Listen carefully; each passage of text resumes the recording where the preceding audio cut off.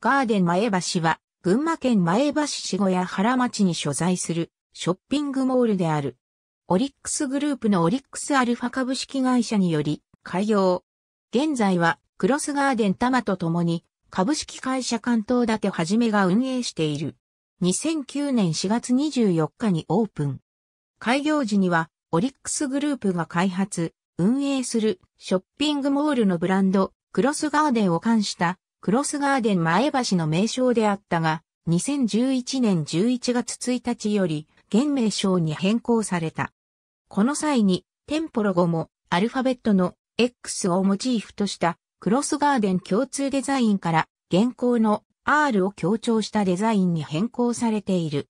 当 SC は2階建てで店舗ごとに外から出入り可能なオープンモール式を採用するネイバーフット型ショッピングモールである。駐車場は無料。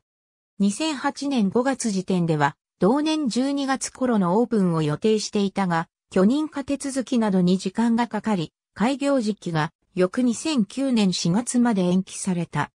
同時期には隣接する山田電機、テックランド、前橋南店の建設工事や、県道2号線、駒形バイパスから東 SC へ向かう指導の敷設工事も開始された。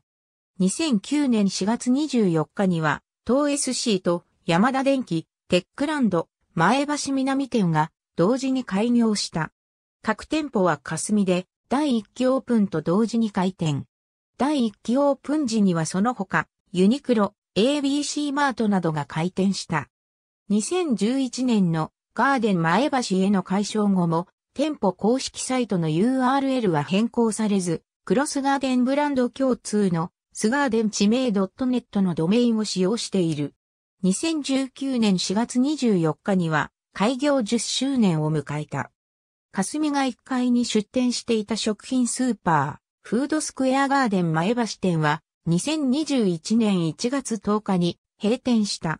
後継テナントについて協議されているが、2021年1月5日、時点では確定していなかった。その後跡地にマミーマートが運営する、生鮮市場トップガーデン前橋店が2021年6月26日に開店した。